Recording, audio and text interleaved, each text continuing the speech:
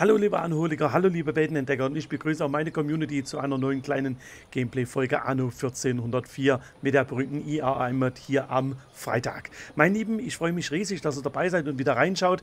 Ähm, ein kleines bisschen Werbung gleich vorneweg. Wenn euch die Folgen gefallen, würde ich mir über Like, würde ich mich sehr, sehr freuen. Auch ein bisschen Unterstützung in Form eines Abonnements.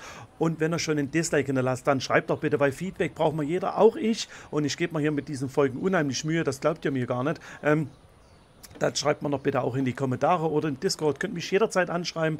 Ähm, dann sagt doch auch bitte, was euch an diesen kleinen Folgen nicht gefallen hat. Ich bin auch neu bei der IAM-Mod. Habe ich ja schon zum Anfang erwähnt, auch im ersten Stream hier drüber. Und deshalb weiß ich auch noch nicht so von Anfang an, was man hier alles machen kann und was nicht. Darum würde ich euch herzlich bitten, weil wir, wie gesagt, einfach so ein Dislike rein. Klar, ist es wenn man mal einen schlechten Tag hatte, dann ist das gut, dann zieht man hier so ein und dann ballert man halt das Ding rein und da ist gut. Aber wie gesagt, es nützt halt keinem und unter anderem erhöht das trotzdem auch die Reichweite. Das sind, die meisten sind sich dessen so gar nicht bewusst. Ne? Wir gehen heute mal weiter und zwar möchte ich heute hier Schaut mal in das Bürgerhaus, da brauchen wir ja noch ein paar Bürger. Guckt mal, äh, ne, wir haben jetzt 608 Bürger insgesamt, aber uns fehlen genau 355 Bürger auf einer Insel. Warum? Weil wir wollen jetzt weitergehen und wollen jetzt unter anderem die Kartoffelschnupfproduktion so richtig, mal richtig anheizen. Problem an der ganzen Sache, da fehlen auf einer Insel genau 355 Bürger. Also müssen wir mal gucken, dass wir die noch irgendwie an einer Insel zusammenkratzen. Das gibt uns aber die Möglichkeit, ganz entspannt erstmal zu, zu gucken, wir brauchen eine Rinderfarm und brauchen hier eine Fleischerei. Ganz, ganz wichtig, weil ohne die zwei bekommen wir hier erstmal nicht diese benötigte nicht dieses benötigte Fleisch, ne? dass die erst einmal hier wenigstens erstmal da, äh, wie soll ich das sagen, dass die hier erstmal die, dieses Bedürfnis erfüllt bekommen. Also machen wir hier folgendes. Wir haben ja in der letzten Folge haben wir hier jede Menge Apfelplantagen angebaut, haben, wir, haben uns mal einen Überblick verschafft, ne, gerade mit der Wollwebstube und so weiter und so fort. Also das hat riesen, riesen viel Spaß gemacht und ihr seht schon, ne? also die Wolle, wie gesagt, das Lager ist hier proppenvoll. Wir können mal gerne mal gucken. Wir können gerne mal gucken, Handelsroute 1 ne? mit Moss drin und die Handelsroute 2 äh, selbst über Baustoffe. Das heißt, für uns eigentlich fehlt hier, es fehlen Stoffe. Das machen wir gleich, da holen wir uns gleich ein paar ab. Die fahren wir gleich wieder auf die Einwohnerinsel drauf. Also ihr seht, das ist wirklich, es ist wirklich jede, jede Menge. Und dann müssen wir mal gucken, wie wir dann weitergehen. Ne? Dann müssen wir mal ein paar Rinderfarmen müssen wir mal rausbasteln. Einfach mal ein paar Rinder züchten. Schaut mal, die Insel ist ja, die ist ja so, so groß. Ich habe versucht, ein ganz kleines bisschen nachhaltig zu bauen. Das heißt, sobald wir hier Probleme bekommen mit den Wollwebstuben, können wir das nochmal gespiegelt anlegen. Wie gesagt, unser Fienchen, liebe Grüße gehen raus an dich, meine Liebe.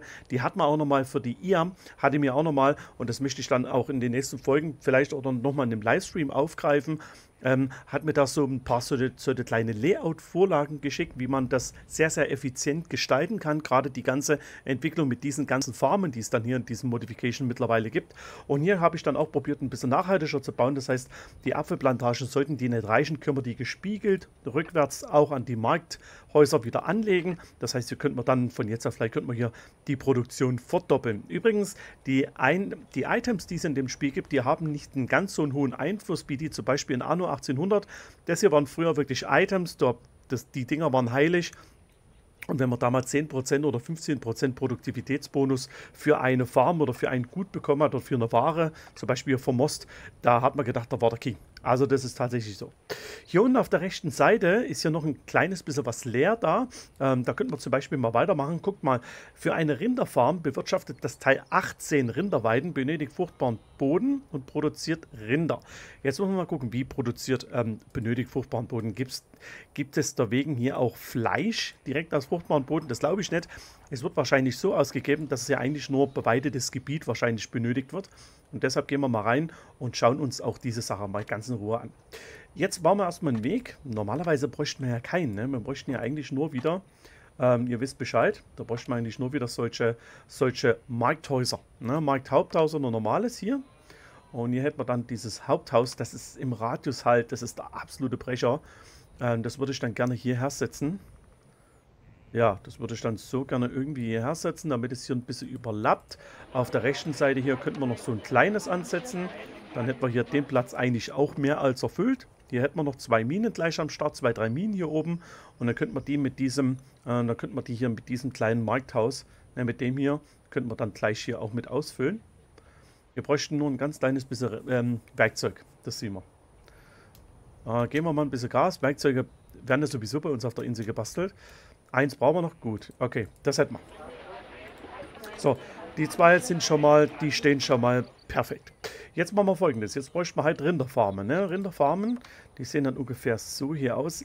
Ich glaube, diese 18 verschiedenen, das sind, also diese 18 Module, ne? beziehungsweise bewirtschaftet sieben Stück. Ich habe da vor uns was von 18. Hier, guckt mal, 18 und gerade eben waren es 7. Ist das ein Bug?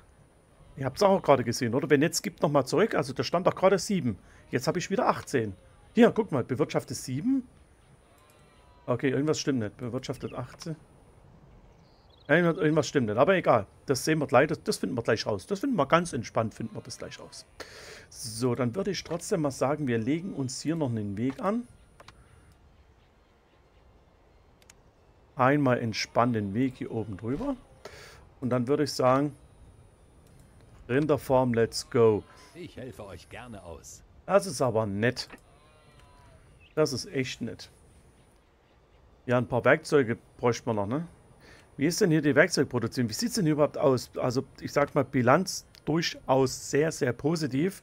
Ne, hier werden gerade Werkzeuge rausgebaut. Das ist auch kein Problem. Ah, jetzt, jetzt, jetzt, jetzt. Okay, alles klar. Komm, dann gehen wir gleich mal runter. Und dann tun wir gleich mal gucken. Hier gibt es dann die Fleischerei. C ist dein Freund. Die Taste C ist in diesem Spiel dein Freund. Denk da bitte, bitte dran. Ich denke da mal an die Worte von unserem lieben Donald. Sehr, sehr geil. Grüße gehen raus, mein Lieber. Okay, 18. Also es sind nicht normal, sondern das sind hier tatsächlich 18. Entweder wir probieren das alles auf, auf eine Seite zu basteln.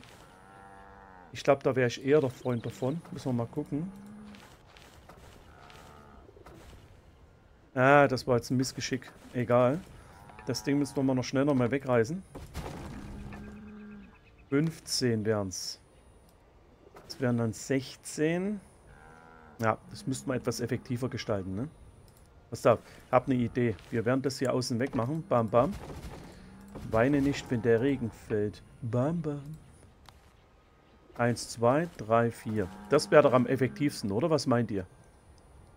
Das sähe doch gut aus. 9 auf der linken Flanke, 9 auf der rechten Flanke. Genau 18 werden benötigt. Ich denke mal, äh, dass wir vom Weg hier, dass wir sowieso nicht mehr rausbauen können. Guckt mal. Hier vielleicht noch, ja, noch so ein ganz kleines bisschen in den Hafenbereich rein. Aber ich denke mal, das war's schon. Also mehr, mehr kann man jetzt hier höchstwahrscheinlich nicht rausholen. Ich würde mal eher sagen, gespiegelt, ein Haus hier dahinter gestellt. Hier. Und dann hat hier nochmal geguckt, was geht, weil hier könnte man dann wahrscheinlich die Außenbereiche ausfüllen. Das probieren wir gleich mal aus. Pass auf, ich zeige euch mal, was ich, was ich meine. Hier noch ähnlich nochmal so ein Teil hergestellt. Na? Dann müsste man ja hier eigentlich nur einen Weg als Anschlussmöglichkeit finden. Und dann links und rechts würde ich dann ganz gerne trotzdem hier noch die Weiden ausbauen. Passt auf hier. Na, so hier. Und jetzt kommt die Kur an der ganzen Geschichte. Wir lassen hier einen Slot frei. Und dann bauen wir hier mal weiter. Guckt mal, das sind schon 10. Die Dinger dann eins nach rechts. Ähm, das würde auch passen. Oder halt dann hier... Geil, wie das klingt. Die haben wir so richtig Bock, wisst ihr das? Oder hier. Oh, ich kann mich da so schwer entscheiden manchmal. Passt da auf. 12. Hier brauchen wir noch die 13, 14, 15, 16, 17, 18. 18. Mhm. Mhm. Das war's auf der Seite. Das heißt, wir könnten die hier eigentlich wegnehmen. Und schon hätten wir hier ein grundsolides Layout rausgebaut. Wir bräuchten hier noch vier Stück. Vier Stück, die wir hier wirklich irgendwo noch richtig geil Gewinn bringt, irgendwo hinpacken könnten. Jetzt überlege ich halt bloß gerade wohin. Ne? Ähm, vier Stück. Also seid jetzt so eine... Das ist jetzt so eine richtige...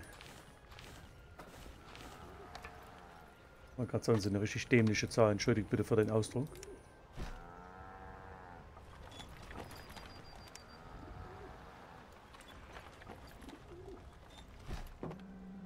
Ja, alle beide im Einzugsbereich, alle beide auf einer Seite. Und es sieht, glaube ich, echt verdammt gut aus. Und guckt mal, die Weiden, die sind ja fast nicht eingezäunt. Das sieht ja echt mal geil aus. Und die Kühe, die weiden halt ganz normal hier drauf. Also normalerweise könnten wir hier einfach mal nur draufklicken und dann setzen die das automatisch. Aber ich sag mal, dadurch, dass wir das hier schon mit eigener Kontrolle so effektiv wie möglich gestalten können, das finde ich schon geil. Das finde ich echt, echt geil. Und vor allen Dingen sind es schon zwei. Ne? Hier könnten wir das nochmal machen. Auf der linken Seite könnten wir das nochmal ähnlich machen. Ähm, ja. Okay. Die sind unter Feuer. Dann würde ich folgendes machen. Ich würde jetzt hier... würde jetzt hier tatsächlich was versuchen. Pass auf. Jetzt bauen wir hier erstmal eine Fleischerei hin. Zumindest mal eine. C ist dein Freund. Hier könnten wir dann gerne noch eine hinten anbringen. Das bringt aber nichts. Wir lassen das mal. Und zwar machen wir das so. Wir werden diese Felder hier, so wie es ist, werden wir hier einfach spiegeln. Also legen wir hier einen Weg an. Ne, machen wir genau so. So hier. Na, und dann machen wir genauso wie hier drüben. Das heißt, hier, brauchten, hier bräuchten wir 6, 1, 2, 3, 4, 5. Okay, das hier wären 6 Elemente. So, ne? Und das wäre im Prinzip genau dasselbe. Also könnten wir hier nochmal zwei Fleischereien installieren. Einfach hier oben her. Beziehungsweise einfach, wo der Weg hier unten mal so mitten im Wald aufhört.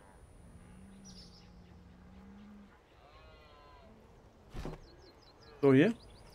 Dann hier einfach die zwei Fleischereien hingebaut. Äh, ja, die zwei die zwei Rinderfarmen hingebaut und dann könnte man hier das auf der linken Seite nochmal genauso machen wie auf der rechten. Also dann hätte man die doppelte Auslastung. In der Mitte könnte man dann hier, ne, hier könnte man dann noch die ein oder andere ähm, Fleischerei einbauen. Wie gesagt, dazu bräuchte man halt etwas Salz, denkt bitte dran. Äh, da müssen wir halt gucken, dass wir hier auch ein paar Salinen installieren oder irgendwas, was uns so ein bisschen Salz gewährt. Gucken wir gleich mal rein. Es gab eine Möglichkeit, an Salz zu kommen, das weiß ich noch. Na, das sind die Kalivengebäude hier. Na, guckt mal hier. Das ist eine sogenannte Meerwassersaline. Guckt mal, also hier könnten wir schon ran. Also hier könnten wir angreifen. Auf der Seite. Und ich glaube, hier oben könnten wir auch nochmal irgendwo angreifen. Guckt mal. Also das hier könnten wir uns geben und das hier auch. Haben wir schon mal zwei. Dann rein in die 1 gerne mit ein paar Wegen verbinden. Und hier würde ich dann abschließend auch ganz gerne ähm, einfach hier so ein Markthaus hinbauen. Einfach so hierher bauen. So hier und dann passt es. So, ihr habt...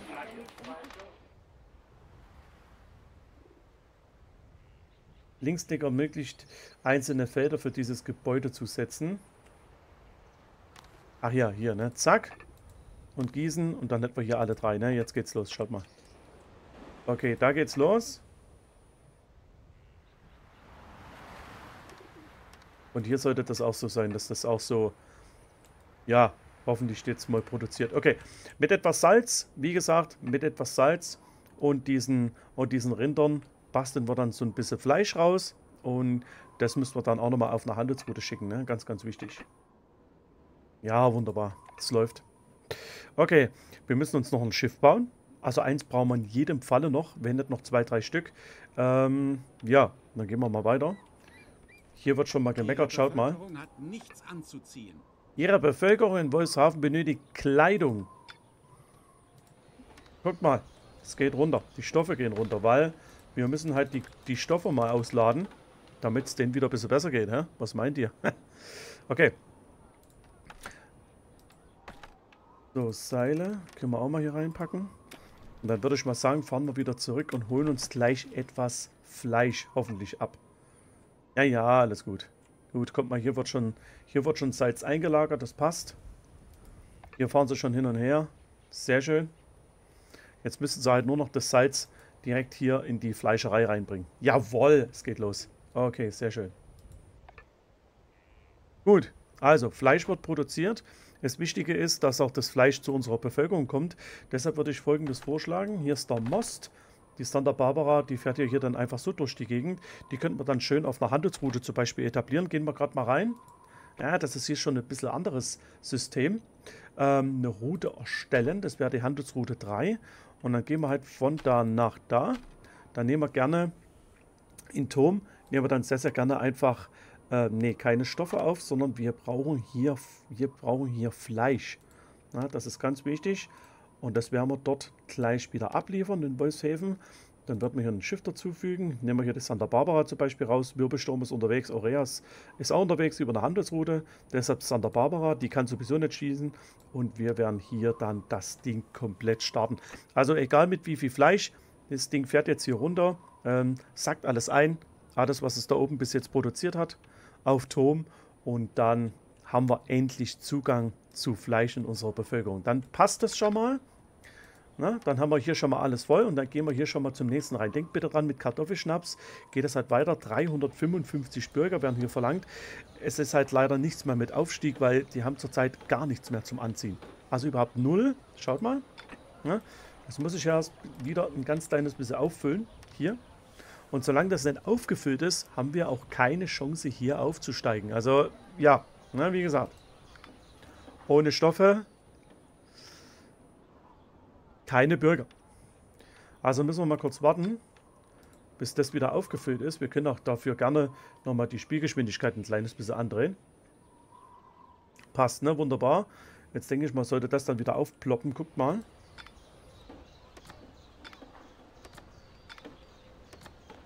Jetzt hoffe ich dann, dass wir, jetzt hoffe ich wirklich stark, dass wir bald diese berühmten 355 Bürger bei uns begrüßen dürfen, dass wir hier dann weiterbauen. Ne? Gut. Ah, es fehlen, okay, ja. Es fehlen diese Lizenzen zum Aufsteigen. Ihnen stehen weitere Gebäude. Sehr schön. Wolfshafen ist gewachsen und hat einen neuen Stadtstatus erreicht. Wir sind jetzt ein Dorf. Danke, Richie. Dankeschön. Hier gibt es dann, genau, hier gibt es dann die große Kirche. Guckt mal, das ist dann, das ist mal ein Teil. Hm? Ja, das Ding macht jetzt schon richtig, richtig Spaß. Auf jeden Fall. Ähm, wenn das nach Bedürfnis Glaube geht, haben die dann die Kapelle. Das heißt, das können wir dann, glaube ich, leider nicht ersetzen mit den anderen Kirchen. Dann ist es halt so, hier brauchen wir noch Bildung, ne? die wollen noch ein Kloster haben, aber das ist erstmal egal. Wichtig für uns ist Fleisch. Und jetzt gehen wir mal weiter. Also die brauchen dann unter anderem noch Leinenkutten, wollen sie noch haben. Hier dann, wie gesagt, der Kartoffelschnaps, aber das, das, das gucken wir gleich in Ruhe an. Hier dann zum Beispiel bräuchten sie einfach nur Kohle. Einfach nur Kohle. Und hier dann zum Beispiel auch Tonwaren, aber Tonwaren gibt es dann, glaube ich, im südlichen Biom. Aber nur die Ruhe. Eins nach dem anderen. So, jetzt gucken wir mal rein. Also, hier Handelsgeräte, einen Außenposten zum Beispiel, ne? und so weiter und so fort. Also das haben wir alles noch gar nicht gebaut, genauso nicht wie das Herrenhaus, die Feuerwache. Ähm, das steht schon zum Teil. Na, hier gibt es den Wasserturm, verschönert die Siedlung. Einwohner holen sich hier Wasser, wenn es in der Siedlung brennt. Na, dann kann man hier sich hier mit dem Wasserturm bestens ausstatten. Äh, ja, komm, das Ding, das bauen wir dann halt. Ist ja geil. Okay, das war schon ein bisschen laut, aber ja, nehme ich auf jeden Fall mit. Dankeschön. Und jetzt haben wir hier ne, Zugang zur Kartoffelplantage. Bewirtschaftet 75 Kartoffelfelder, benötigt eine Wiese und produziert für uns Kartoffelschnaps. Das möchte ich auch noch hier drüben auf Ton machen.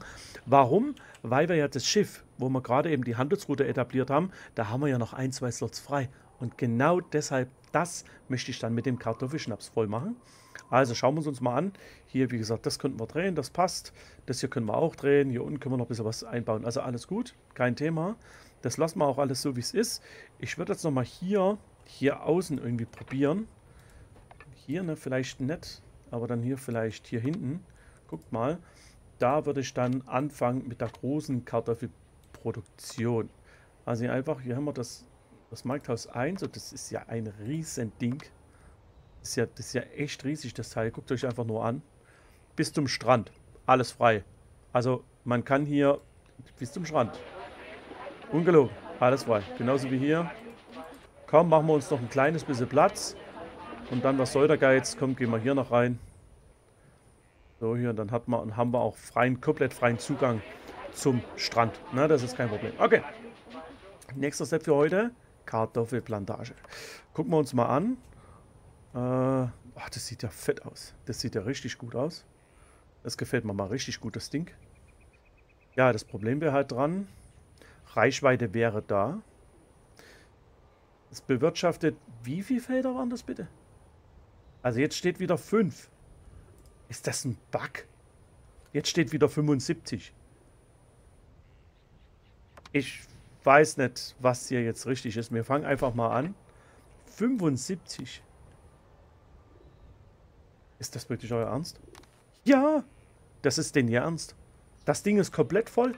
Guckt euch bitte einfach nur an. das sieht, das sieht wirklich so aus. Ein Brand zerstört ihre Siedlung. Es brennt! In Wolfshafen brennt's. Sehen wir gleich. Zierplatz, bla bla bla.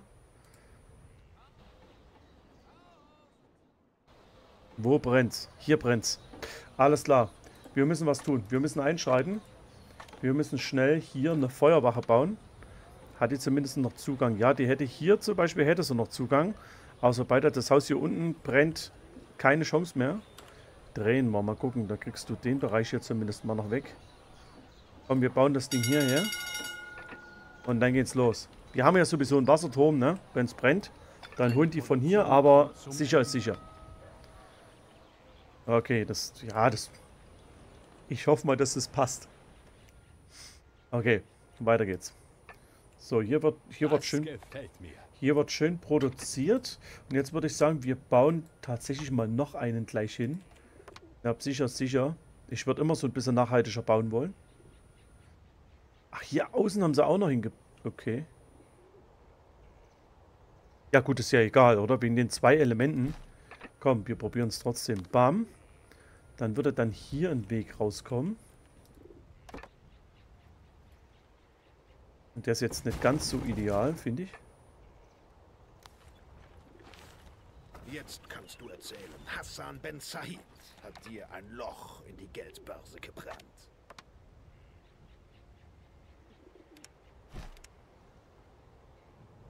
Ja, geht auch. Es sieht jetzt nicht optimal aus, sieht auch nicht schön aus, aber immerhin, äh, das könnte man auch deutlich, deutlich effizienter gestalten. Ja, also so viel, so viel muss jedem klar sein. Wir werden jetzt mal noch in die Routenplanung. Aktuell hier werden wir hier noch den Schnaps mit einbinden.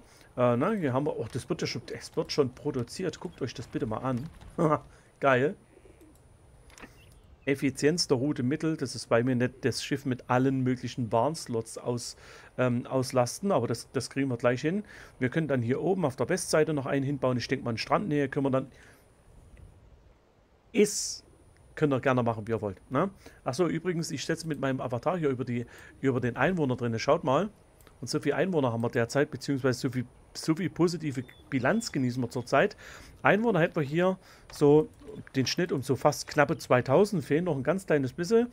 Und Bilanz sieht auch sehr gut aus. Also kann man eigentlich so gar nicht meckern. Ne?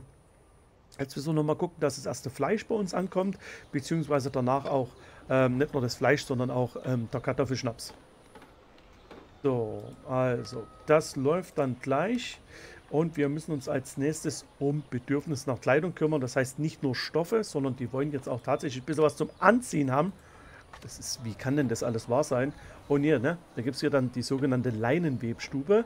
Benötigt Hanf, produziert Leinenkutten, steht das Bedürfnis nach Kleidung. Und damit muss es weitergehen, damit geht es jetzt gleich weiter. Schauen wir es uns mal an. Ja, Leinenkutten.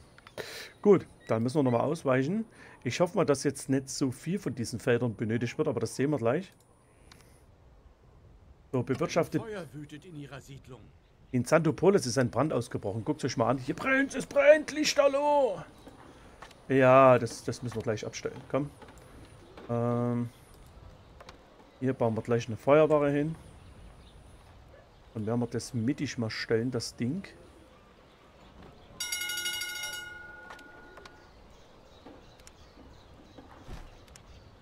So, dann dürft ihr schon mal ausrücken. Genau, und ihr dürft schon mal diesen Brand löschen. Also nicht den Durst, sondern tatsächlich, wenn es brennt. Ähm, das hätten wir. Und ich würde jetzt gerne noch hier oben noch final. Hier würde ich gerne noch ein bisschen, ähm, noch so ein kleines bisschen Hanf anbauen wollen. Ne, über eine Hanfplantage. Und da würde ich dann auch sehr, sehr gerne zwischendurch gleich, also ich würde dann gleich reingehen hier mit diesen, mit diesen Webstuben. Die würde ich hier... Seid auserkoren, die Interessen des Kaiserreichs zu vertreten. Ja, wir sind auserkoren. Alles klar befindet sich auf der Reise. Du auch, du nicht. So, wo müssen wir hinfahren? Hier hoch. Dann müssen wir die hier müssen wir holen. Also sammelt dich mal bitte da oben. Und wir werden jetzt in der Zwischenzeit, in dem Rest der Folge, werden wir hier noch ein kleines bisschen hier oben äh, die Hanfproduktion rausbauen. Industrieller Hanf. Industrieller Hanf. Gut, also einmal hierher und gerne einmal daher. Und dann einfach mal Passt das? Jawohl. Ich bin immer noch an das Anno 1800 gewöhnt. Ihr glaubt es gar nicht, äh, was das für einen Unterschied macht. Wenn man da mal anklickt und das funktioniert nicht einmal und dann klickst du da wieder an und denkst so, hä, du hast es doch gestern, du hast, das, du hast es doch erst gestern gemacht, wieso funktioniert das nicht mehr? Und das ist ja, na hier, ein ganz, ganz anderes Spiel. Ähm, das machen wir so. Das ist sogar Vanilla angelegt hier. Ja. Ja, das ist, das ist schön, wenn man wenn man so bauen kann und das hat so relativ wenig, äh, beansprucht so viel, relativ wenig Platz, dann kann man schon gut und gerne hier dann zwei solche Farmen hier nebeneinander, nebeneinander setzen. Ich würde dann gerne noch eine nehmen. Wenn wir das hinbekommen hier, sollten wir. So hier in der Mitte gerne mal wieder einen Weg. Sehr schön. Und dann einfach diese vier Farmen hier wieder hingesetzt. Eins, zwei, drei, vier. Wunderbar. Und schon läuft der Laden. Das Ding, das ist ein Selbstläufer. Das läuft dann, das läuft, wie gesagt, das läuft fast von alleine. Wir hätten das vielleicht noch eine Idee nach rechts bauen sollen. Eine Idee weiter nach Osten. Aber gut, dann ist es halt so. Dann werden wir das Gebäude hier wegreißen. Das darf gerne stehen bleiben. Und das wird dann wahrscheinlich auch gleich anfangen mit produzieren. Die Reichweite wäre gegeben. Wir könnten sogar noch upgraden. Wäre auch kein Thema. Werkzeuge gibt es hier wieder am Start. Also schaut mal, also das, das läuft. Ne, das läuft. Also sehr schön. Äh, könnten wir jetzt hier unten, glaube ich, könnten, da wäre auch noch genügend Platz da und ich glaube hier auch. Also der Radius von dem, von dem Haupthaus, von dem Markthaupthaus, der ist hier deutlichst ausgenutzt. Hier auf der Westseite könnten wir gerne nochmal anlegen. Und wenn da alle Stricke reisen, dann bauen wir halt da noch ein paar Kartoffelplantagen hin. Wir haben noch den Platz optimal ausgenutzt und den. Also ich denke mal, dass das schon, äh, ich denke mal, dass das schon, ja, so schön zusammenlaufen kann. Folgende Produktion der Wollwebstube hat keinen Bock mehr. Das denke ich mir. Dieses Schiff ist eines meiner besten. Dieses Schiff ist eines meiner besten. Na, da weißt du Bescheid. Ähm, hier. Ach, guck mal, die Poseidon. Die ist auch mal gebastelt. Da könnten wir aber doch gleich hier hochfahren. Können wir doch mit der Poseidon hier hochfahren, oder? Dann können wir doch die Schwalbe können wir wieder runterschicken auf halbem Weg. Das ist da eigentlich totaler Quatsch, was wir machen, ne? Und dadurch, dass wir ja jetzt hier diese Leinenkutten produzieren... Ach nee, Moment. Doch, die Fruchtbarkeit ist gegeben. Doch, die Fruchtbarkeit ist da. Das passt. Das heißt, wir gehen jetzt wieder rein in die Handelsroute, gehen Handelsroute 3. Da gibt es nämlich noch einen Slot. Dann werden wir auf Turm, werden wir sehr, sehr gerne hier die Leinenkutten aufladen. Und werden dann nachher im Wolfshafen, werden wir die einfach ausladen. Ganz einfach. Da warten wir mal ab, wie das losgeht. Wie gesagt, die drei Slots sind jetzt optimal belegt. Und das Schiff, das hat jetzt wirklich wertige und wertvolle Ware drauf. Und jetzt bin ich mal gespannt in der nächsten Folge, wie dann hier drüben endlich der Boost aussieht ne, von unseren Bürgern. Wie gesagt, ne, wenn das dann immer mal weitergeht, hier eine Fleisch, guckt mal, Fleisch sieht sehr gut aus. Kartoffelschnaps ist auch fast voll. Sehr, sehr geil. Und als nächstes kommen dann halt die Leinkutten und die haben halt auch schon 60%. Das ist ein Riesenstück von der Torte. Und danach geht es halt weiter mit Tonwaren und Co. Und danach müssten wir, glaube ich, ob er wollt oder nicht, ob wir wollen oder nicht, müssten wir, glaube ich, Richtung südliches Biom aufbrechen, weil ich glaube, nur da gibt es dann diesen wertvollen Ton. Müssen wir mal schauen. Ähm, hier oben haben wir ja, ne, hier, wir sind ja hier Bros. Na, hier ist der, hier ist der Onkel Ben Hassan Ben Said. Und auf der Insel hier, da würde ich gerne mal festmachen, weil hier gibt es Datteln, Gewürze und Seide. Das sind die, die dann die nächsten, ich glaube die Patrizier sind glaube ich die nächsten, die wollen garantiert das ein oder andere hier von der von dem südlichen oder von der neuen Welt, von dem neuen Weltbiom haben. Also ich könnte mir vorstellen, Gewürze bzw. Seide möchten die bestimmt haben. Und dann müssen wir halt hier mal noch so ein ganz kleines bisschen auf Verkundung gehen. Und dann müssen wir halt nochmal schauen, dass wir hier ähm, westlich bzw. östlich noch ein kleines bisschen die Karte erforschen. Es wäre doch schon besser, wenn man eine große Insel findet, die nicht so viele Flüsse hat und die vor allen Dingen auch schon dementsprechende Fruchtbarkeiten bietet. Ne? Wie gesagt, Ton. Ich glaube, Ton dürfen wir überall anbauen, wie das war eine Tongrube oder so, ein Gebetsplatz. Schreibt das gerne in die Kommentare, wenn ihr da ein bisschen was mehr drüber wisst. Moschee, Goldschmied. Ja. Also wie gesagt, wir müssen halt erst runter ins südliche Biom. Ähm, den haben wir ja auch noch nicht gefunden. Den Kollege. Na komm, dann fahren wir. Dann begeben wir uns mal so ein kleines bisschen auf Expedition. Oder was meint ihr? Einfach mal erkunden, einfach mal erforschen. Hier oben werden wir Das heißt, wir werden die, wir werden die Quest-Items gleich einsagen. Das sieht so geil aus, die kleinen, die kleinen niedlichen Menschlein in diesen Fässern drin, die dann immer so, so komisch so winken. So, das war die 3, das war die 4 und das hier war die 5. Und dann würde ich sagen, wir haben alle aufgehoben.